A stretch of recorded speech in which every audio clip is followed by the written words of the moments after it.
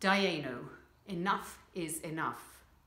There are two ways to say it. The first way is what we said as a community at the beginning of the week.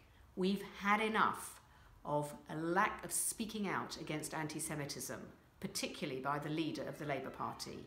Dayenu, enough is enough. But at Seder, this weekend, we will say Dayenu differently. An appreciative Dayenu, the voice of appreciating what we have. Even if we'd only had something, we are glad.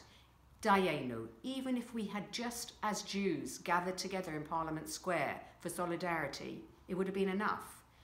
Dayenu, even if we hadn't made an impact and the national press didn't take up our cry, Dayenu, but they did.